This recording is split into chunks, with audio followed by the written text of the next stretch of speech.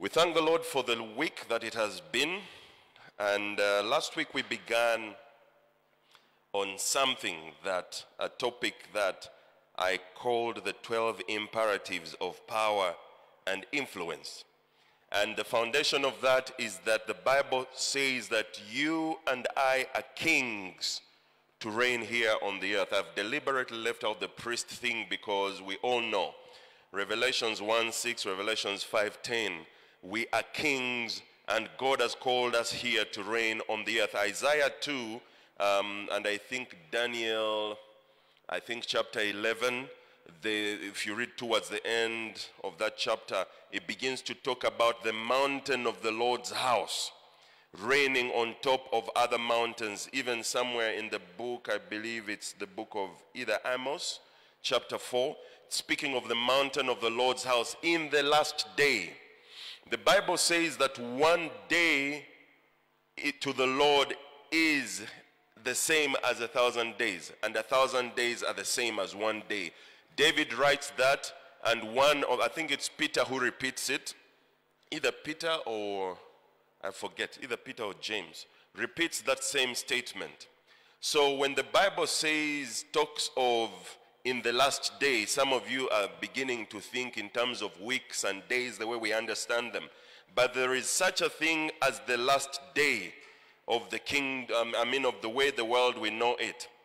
And the Bible says that in that last day, in which we actually are already in, how do I know that? In Acts, the apostles say that in the last day, according to Joel chapter 2, that the Lord will pour out his spirit upon all flesh. And when the Holy Spirit came down in an outpouring, Peter announced that we had entered into that last day. So we are in the last days of the last day, if I can so put it. It's been 2,000 years since that pronouncement. So we can comfortably say that those scriptures that refer to the mountain of the Lord's house, sitting on top of other mountains we live in those days, and it is the kings who sit on top of those mountains. I am reminded of Caleb who tells Joshua when he, they had fought up to a point of entry, and he tells Joshua, Give me my mountain, which was promised unto me, which the Lord promised unto me, that I may go in and take it.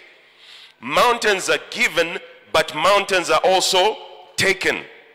And it takes kings or people who understand the kingly anointing or the kingly functions to take mountains. So I needed to lay that foundation before we proceed from where we stopped. So last Sunday, we read Ecclesiastes 9 and Ecclesiastes 10. For those that attended the first service, we read through those entire portions of scripture and uh, we started sharing from those portions of scripture the word of God. And we shared in Ecclesiastes 9:11, which says, And I returned and saw under the sun that the race is not to the swift, nor the battle to the strong, neither yet bread to the wise, nor yet riches to men of understanding, nor yet favor to men of skill, but time and chance happen to them all. We together saw that the first imperative is that it is important that you are swift. It is important that you are strong. Because naturally, and the order of nature is that the race is always to the swift. You try running with, um, it's not Kiprotich, the guy that won the, the world records twice this year. Kip Cheptegei. Try running after Cheptegei and see what happens. Whether when you're not swift, you will win that race. So Solomon was not actually discrediting swiftness. He was actually highlighting that swiftness is important. He was highlighting that strength is important. He was highlighting that wisdom is important if you're going to put bread on the table. He was actually also highlighting that understanding creates wealth. Understanding creates wealth. He was also saying that skill brings favor. Skill brings favor. The Bible somewhere says that your gift will make space for you. Your gift will open doors for you. your gifting is really about skill. So when you develop skill, there is a way in which it gives you favor. I have been in the corporate management space for over 20 years now, but I can tell you that when I'm hiring for people, I will look for skill and competency. It doesn't matter who you are when it comes to delivering certain things, skill and competency will open doors for you. I have been in places where men and women of skill, their skill and competency has gone ahead of them. And people come and tell you, you really need to hire this person because they are skilled at what they do. They are competent at what they do. Praise the Lord. So the first imperative that Solomon brings to our attention is that it is important to be swift. It is important to be strong. It is important to be wise. It is important to have understanding. It is important to have skill. But let me tell you something about each and every one of those things that I've highlighted above. It takes training to get to the best that you can ever be in any of those things. It takes investment.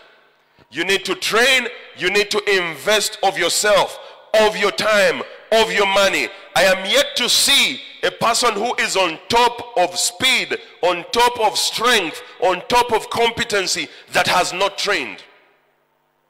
Many of us know Arnold Schwarzenegger that he did. But he was first a bodybuilder and that opened space for him in Hollywood.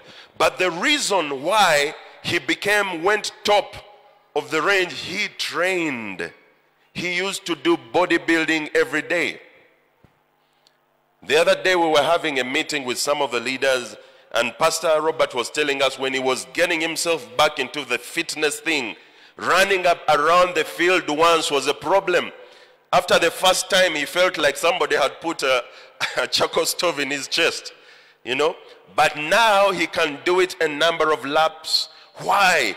Because after a while, when you train, you build speed, you build skill, you build strength, you build competency, you build understanding, and you are able to garner all these things that Solomon is talking about. So he's not discrediting them. And that's the first imperative that I raised last Sunday. As a leader, exercise yourself to these things. Because if you don't, even the very basics of leadership, you cannot even start on it. That's the first imperative. Then the second imperative is, that is in that very same verse that we saw last Sunday. That time and chance happens to them all. Ladies and gentlemen, brothers and sisters, there is 1,000 copies of you out there. People who have the same speed, who have the same skill, who have the same competency, who have the same wisdom, the same understanding. So what makes distinction for you? And this is where Solomon now begins to break out and say that there is such a thing as time and chance. And the biggest problem that I have seen in the church is that the church does not understand the principle of time and chance. And many, many people in the church have not taken time to build what is called emotional intelligence. Let me give you an example.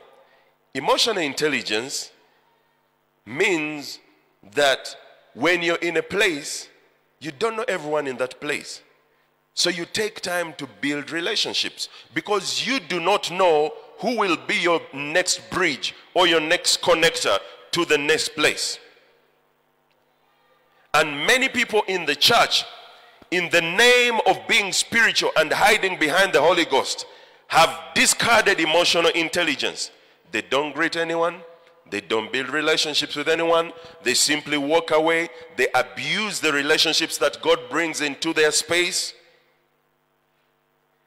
My wife and I have, have been having a series of conversations over a certain issue that we're trying to solve. But then you think about this the number of times we've gone out to help men and women of God to become something better, and you invest your hard earned money into something and somebody abuses it. And they think you'll never find out. Emotional intelligence. time and chance presents herself among the people that the Lord brings into our space. The reason why some people who are not even born again are able to build empires because they have mastered the principle of time and chance. There are some people who come into your life and they're going to cross through that place once and never again. Last Sunday, when we discussed, we learned that there are certain gates and opportunities that affect your generations after you that are going to open once, and that once is going to be in your lifetime. But it has a potential of affecting all your generations after you. Time and chance. The question is when time and chance happens to you, are you awake or are you sleeping?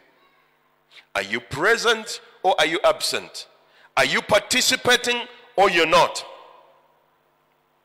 And many times you will only know that it was time and chance when it has gone. But the question is that when that happens to you, will you be on the bus or off the bus? Time and chance happens to them all. That was the second imperative that we saw last Sunday. The third one, when you read in Ecclesiastes 9, he talks of a poor man. He talks of a city that was attacked. And the Bible says that small city was attacked by a great king. Let me tell you something about the challenges of life and something that the Lord has been speaking to us as a church since this lockdown began. That we will be confronted by giants because those that are called by God, the only things that get confronted or they get confronted by is giants. So this small city is attacked by a great king according to the Bible. And the Bible says in Ecclesiastes 9:15 that there was found in that small city a poor wise man. He was poor, but he was wise. He was poor, but he was wise. And it says that and he who poor and wise man by his wisdom delivered the city but there is a sad conclusion. So there is two things in that verse. The poor and wise man was able to contend by his wisdom against a great king. That's where the third imperative comes from. That wisdom is greater than strength. That is what he concludes in verse 16 if you read. Wisdom is greater than strength. There are many challenges that confront us, children of God, that we should have no business trying to exert strength against them, but rather application of wisdom. Wisdom is greater than strength. If you're going to be a king that reigns on this earth, then you need to seek wisdom. You need to seek wisdom because it is greater than strength. Wisdom is going to cause you confront mighty kings and you will overcome. Not because you are strong, not because you are mighty, but because you are wise. I gave you examples about that, which I don't want to get into today. But the story of the poor wise man ends in a funny way. It says, Yet no man remembered the same poor man. Verse 16 Wisdom is better than strength. Nevertheless, the poor man's wisdom is despised, and his words are not heard. So we saw the fourth imperative at that point that money will bring honor, wealth will bring honor, glory, earthly glory will bring honor. I grew up in a, in a household and in a home that had some of the original balokole that we knew in Uganda called the Bazukufu. My grandmother was a Muzukufu, and a number of them in that household were Bazukufu. My Senga was a Muzukufu. So the whole thing of being a Mulokole was major. But not just a Mulokole, it was being a Muzukufu. But you know, The Bazukufu of those days, they used to believe that money was a sin. They used to believe that it was an evil thing. They misinterpreted a verse in the Bible which says that the love of money is the root of all evil. And they said money is the root of all evil. Therefore, money, evil. So money is sin. But you see, sometime around the year 2000, when I was, not, not even in the year 2000, it was about 1998, the Lord began to open my eyes about a secret. And this is the statement that the Lord told me that he that controls the money controls the nation. That is in 1998. And I started to pray in that year. I remember we had a number of prayer partners, and I told them, guys, this is what I hear the Lord say. We need to pray that the children of God take over the financial aspect of this country. Because unless we are in control of the finances, there is no way we will influence the events in the nation. Let me tell you something. That was true then. It was true in the days of Solomon. It is true even now in the days that we live in. Money is so important in terms of power and influence. Some of the biggest problems we have have been introduced by men who never speak a simple word or even a single word. You never hear their voice, but their pocket speaks. And they send people into the houses of representation. They send people into parliament. I'm reminded of Nicodemus, who the Bible says he was a poor, he was a wise guy, a leader among the Jews, who approached Jesus at night, in the deep of the night. And he had his own questions and he said, Master, what can I do? But it was in the deep of the night. No one knew that Nicodemus and Jesus were talking. Men and women with money have created problems in nations. Why? You never hear their voice speak, but you see the actions of their pockets. Money is important. Money brings honor. Men and women of money who have learned that secret, no one ever touches them because money is power. It is an imperative of power and influence. It is an imperative of power and influence. Money opens doors. If you wanted to make an appointment, and I will say this here and now, if the president had to, to make a decision between seeing a man who is poor and a man who is wealthy on an appointment schedule concerning matters of the nation, I assure you the rich man will be ahead on the schedule than the poor man. Because money is influence. There are things I can't even stand up here and talk about of what money has done and of what money can do in terms of steering decisions. Because money is one of the imperatives of anyone that must understand power and influence. You cannot underestimate the power of money.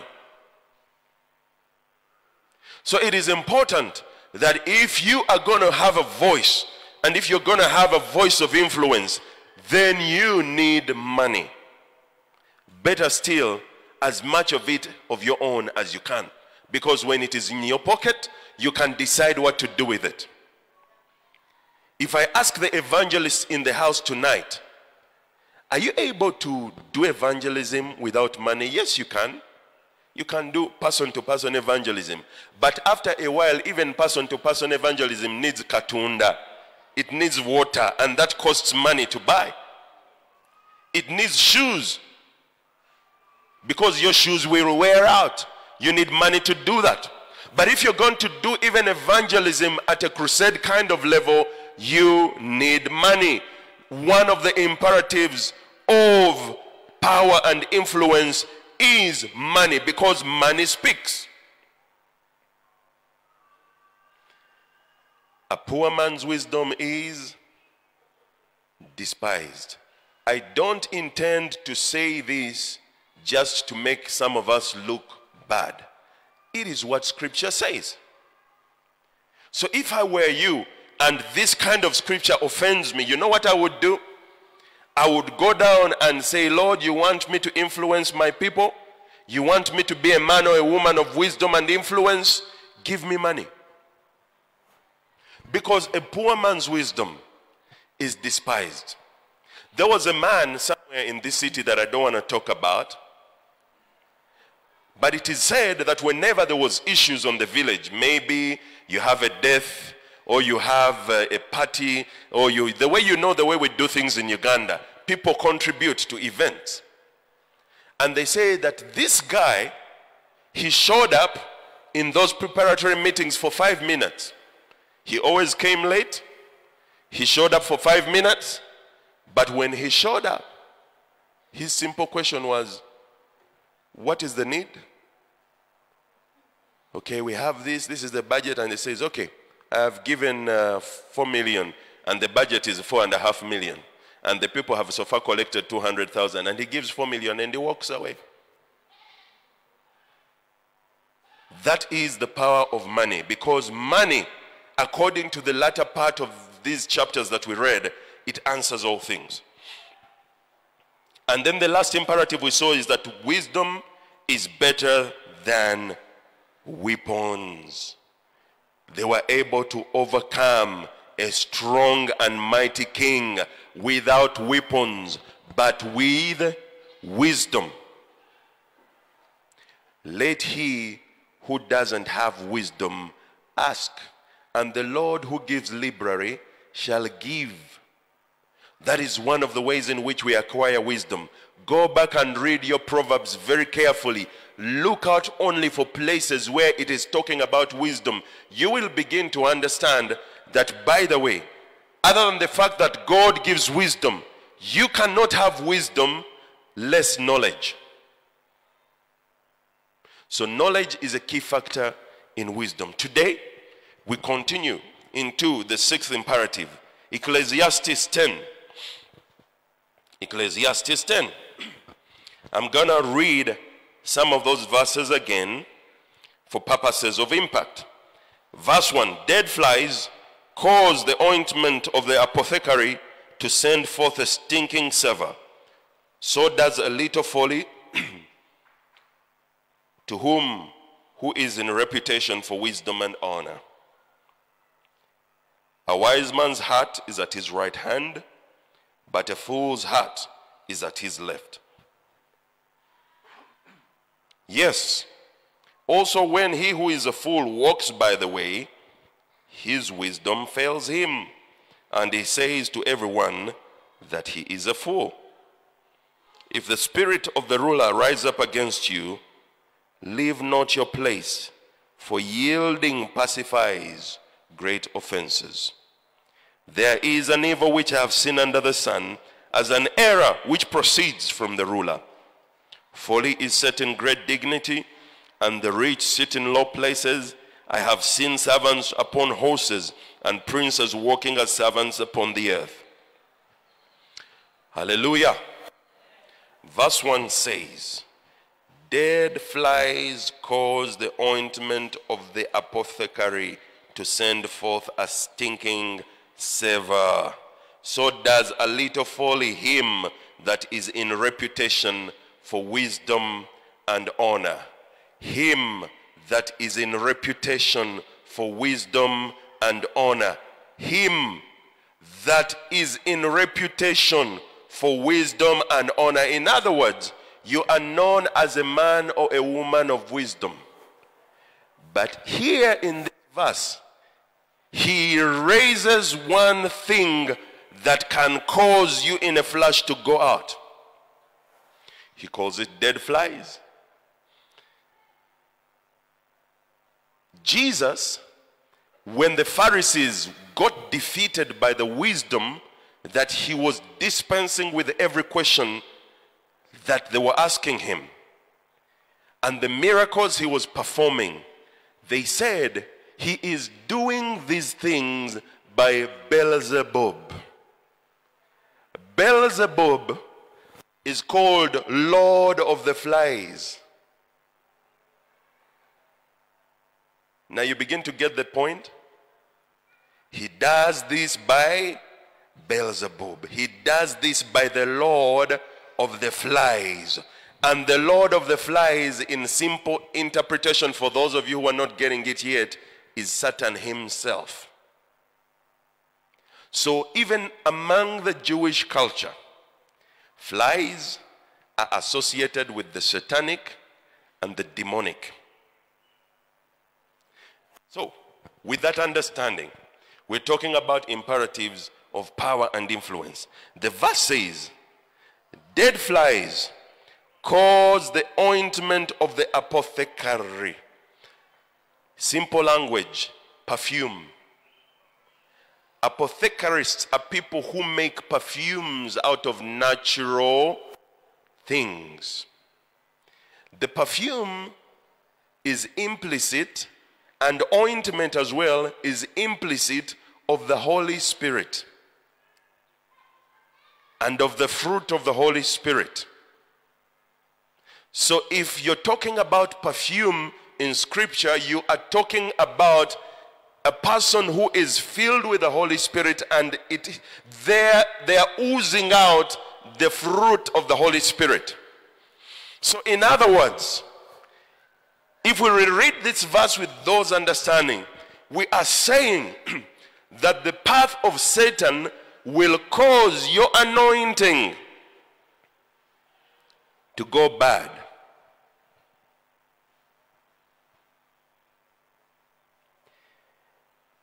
The sixth imperative is guard your anointing. Guard your anointing. What? Guard the anointing, yes. Because you can lose it.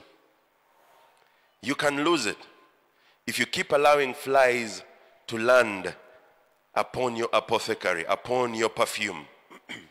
what sort of environment are you creating for yourself?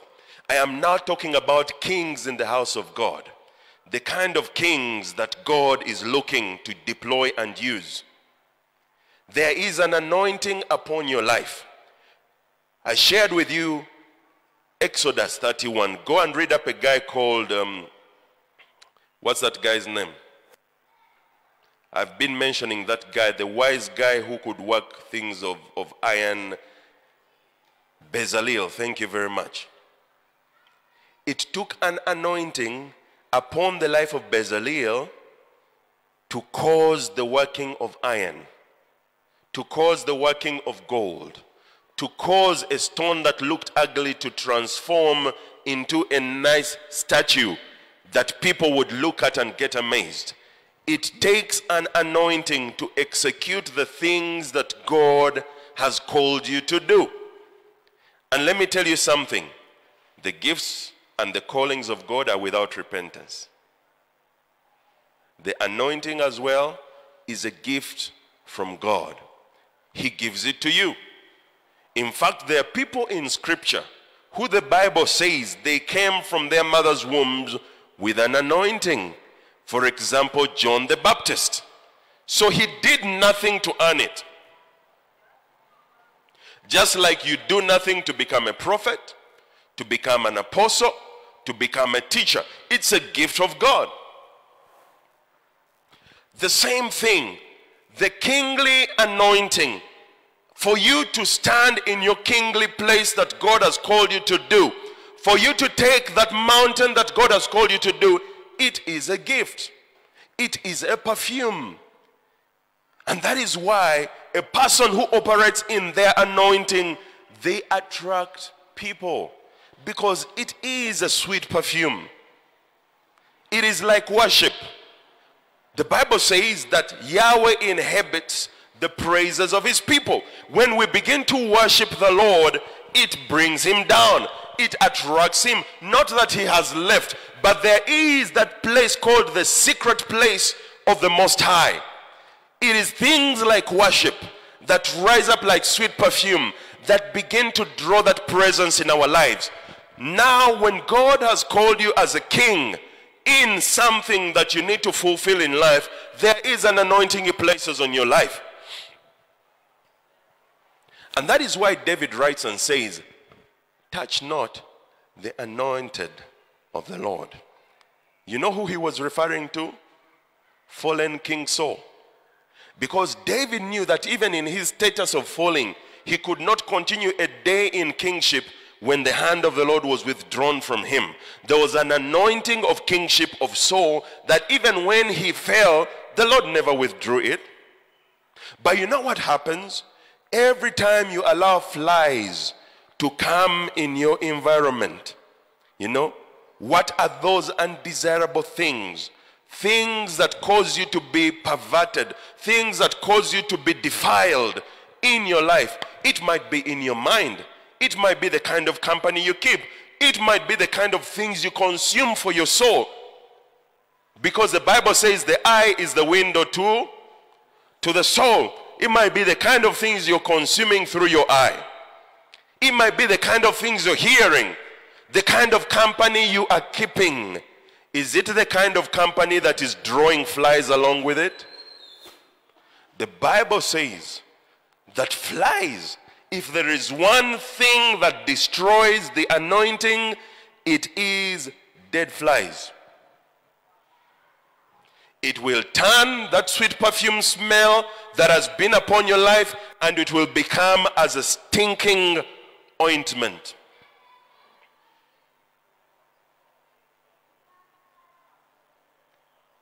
Many are called. And there's people who choose to, to keep a blind eye. They think, yeah, Naitiwa, I have a calling on my life. I have an anointing on your life. Who argued against that? No one argued against it. I have told you here before, some time back, when we were still younger in Seguku, there was a young boy of eight who laid hands on a blind woman and she saw a blind woman and she saw. That guy had an anointing of healing upon his life. He grew a bit older, he became arrogant. It is even said that that guy, that anointing on his life, opened up doors of kings for him. That the president of Zambia used to send his presidential jet here to pick him and take him.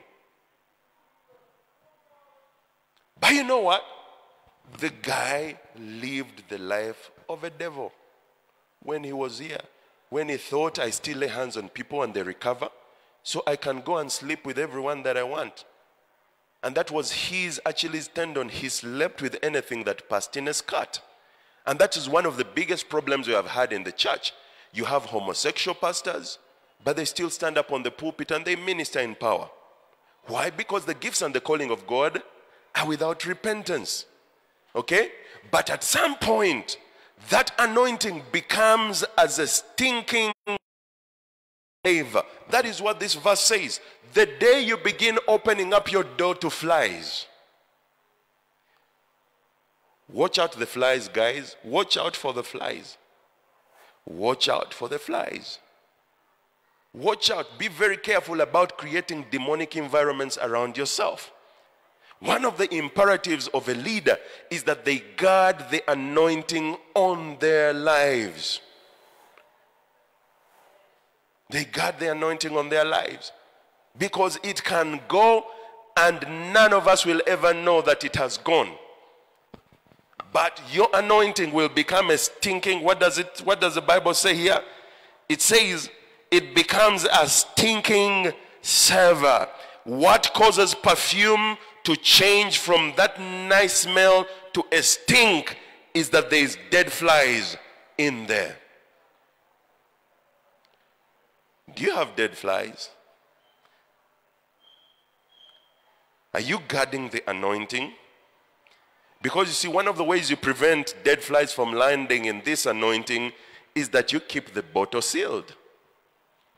You keep watching the environment. You keep a clean environment around it. I am yet to see a fly that flies around a clean environment. If you find it, it is a subject for research. I want to know. Dead flies. they will turn anointing into a stinking savor. So the sixth imperative, if we are going to reign as kings, is we must guard the anointing. It doesn't matter how many years you have grossed up in wisdom, but the day you open up that door to the demonic and to weird stuff, your anointing becomes as a stinking savor. Your reputation for wisdom. Here it says just a little folly, just a little compromise, just a little compromise.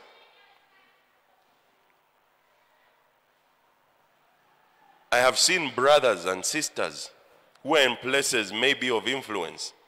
They just take a little money, just a little folly. You compromise yourself a bit. You know, you're a sister, you have an anointing on, on, you, on your life. It doesn't seem like in the house of God any man is saying anything. And then a certain Haji comes, just a little folly, just a little. Just a little folly. That's what the Bible says. What kind of folly are you keeping around your life?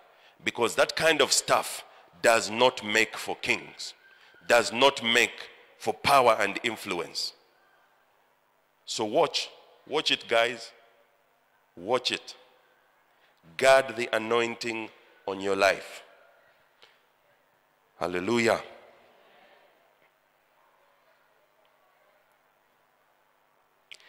In the second verse, it says something that most of us possibly missed. Verse 2, it says, A wise man's heart is at his right hand, but a fool's heart is at his left. Show me your right hand. Let me see. Lift up your right hand quickly. Let me see people who don't know right from left. Okay, all of us seem to know. Now you have to go back to some of the things we have talked about in previous teachings to understand what this verse is saying.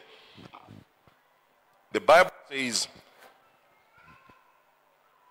as you come out of the Holy of Holies, now I'm going back to the teaching about the temple of God. As you come out of the Holy of Holies and enter into the holy place, there is two critical items that we've talked about that sit in the holy place. On the right hand side, what do we have? The seven golden lampstands. And on the left hand side, what do we have? The table of the shew bread.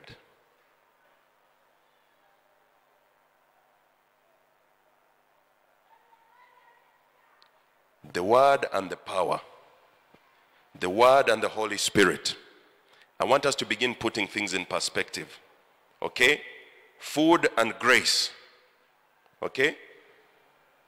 Left and right. I want you to begin putting things in perspective. I'm just drawing to you the imageries and the implications of right hand and left hand. From the Holy of Holies, you enter into the holy place, you begin to understand the definition of left and right, north and south. Okay?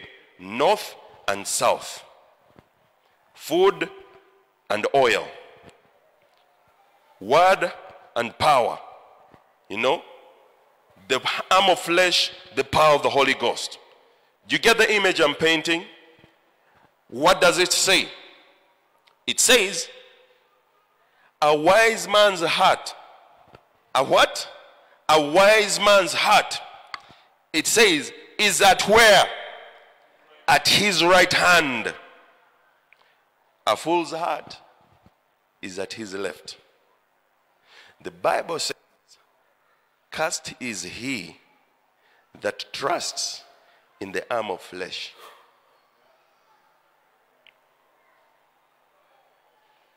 You want to be wise, guys? Let me tell you a story. A friend of mine in the last elections went out campaigning in uh, one of the constituencies in Kampala. They entered into a place similar to, you know, walking through Kawempe.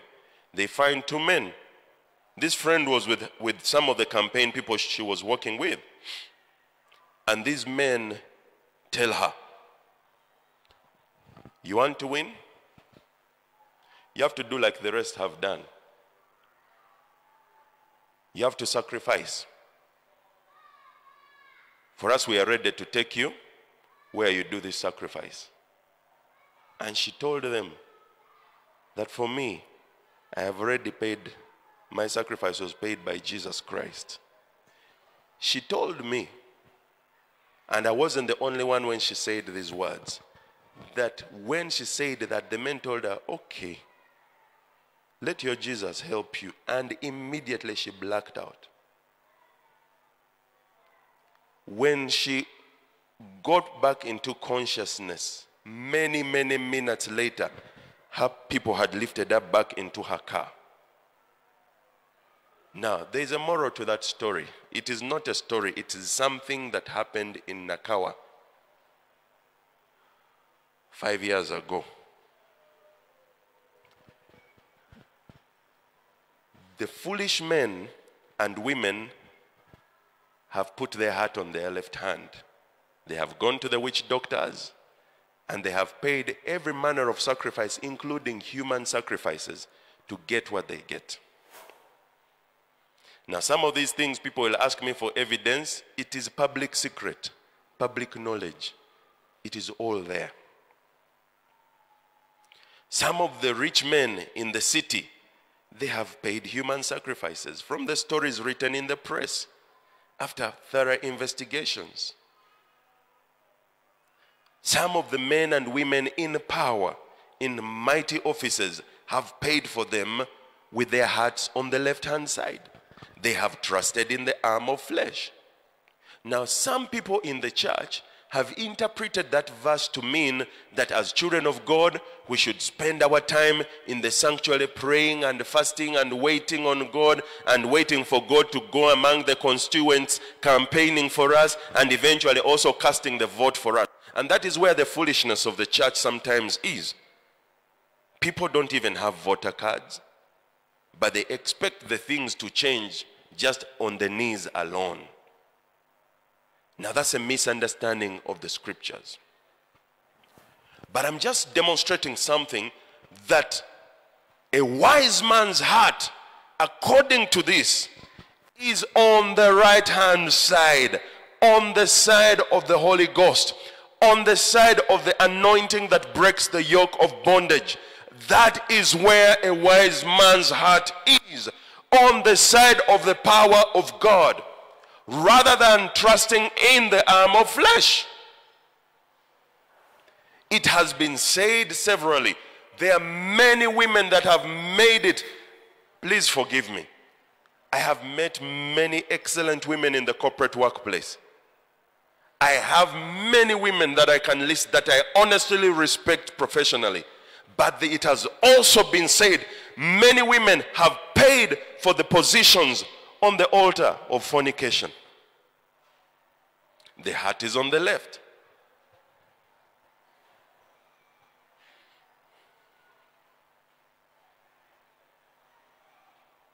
Many men have paid for wealth by stealing from people. You execute a deal, you agree terms with somebody, and when the deal comes through, you never meet your, your side of the bargain because you think everything belongs to me. You never apportion the wealth that belongs to somebody else because you believe in the arm of flesh. You don't believe that this that you have, the Lord can bless. My wife and I, some of the things that the Lord has given to us, it's not because we were very wealthy. And I learned a lesson after some time that it doesn't help to try and struggle to make things work just by your own self. Because I observed and I compared the effort I had put in in a certain part of my life and how much I had garnered from that and how the Lord had blessed me in a different side. And I decided that it is the Lord that blesses. It is better to have that which the Lord has blessed. A wise man's heart is on the right hand side. A foolish man's heart is on the left. Where is your decision making going to lie? Imperatives of power and influence. Sometimes Men are going to walk all over you on this journey to power and influence. And you've got to decide whether you're going to fight them in the way that you know how to fight, or you're going to wait for the oracles of God and the instruction from the heavenlies for you to take the next move. In one of the jobs that I did, I was so despised by somebody who was supervising me. And I wanted to get up and fight because I knew how to fight. And just as I was planning to do it, the Lord told me, Don't do it. And I said, What? I thought you told us to influence. He said, Don't do it.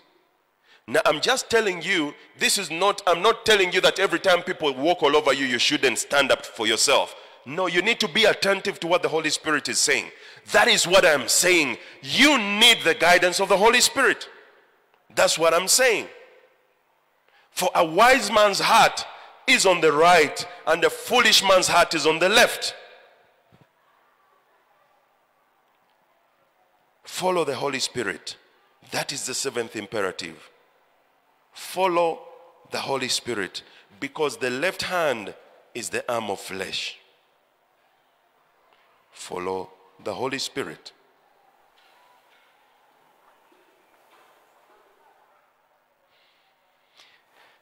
You know, we want to run through these imperatives.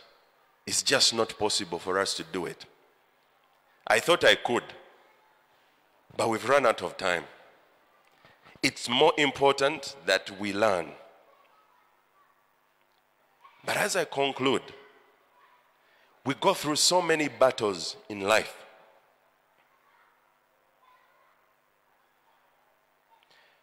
Let me conclude with this story. There is a pastor that I worked with in the National Fellowship for Born Again Pentecostal churches. I forget her name.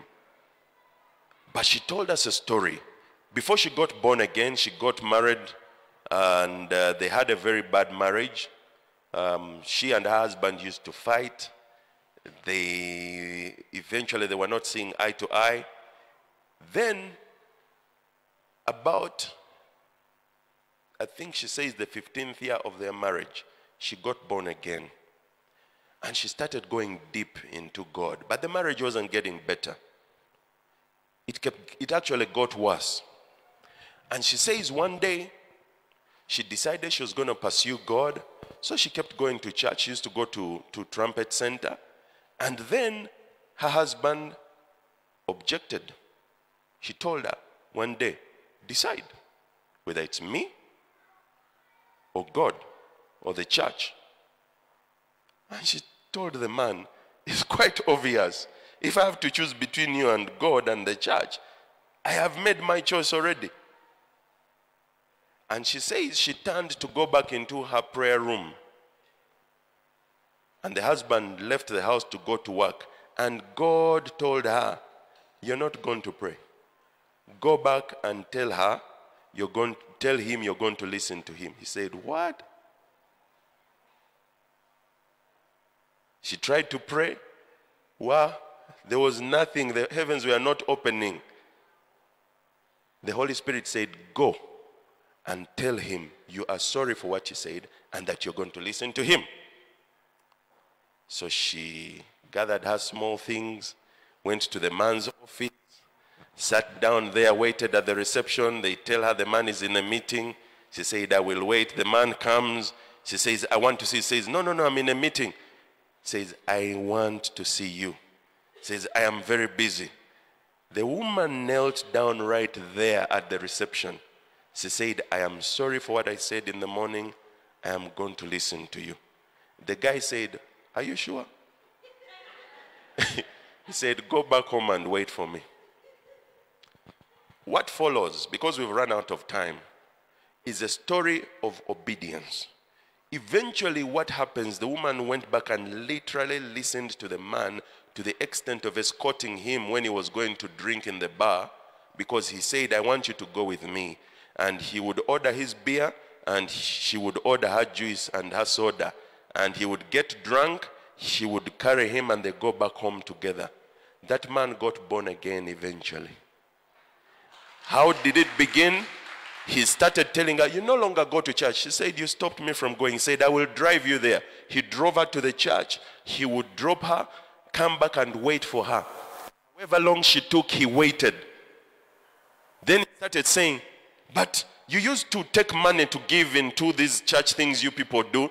Said, But I don't have any money. He started giving her money to give to missions and offerings. A wise man's heart is on the right, a foolish man's heart is on the left. Let's pray. Father, we bless your name. Thank you for your word says that the entry of your word brings light. Bring light in our hearts this morning as we continue to study about the imperatives of power and influence. Bring light in our hearts. Holy Spirit, teach us your way and bless us. In the name of Jesus Christ, we pray. Amen and amen.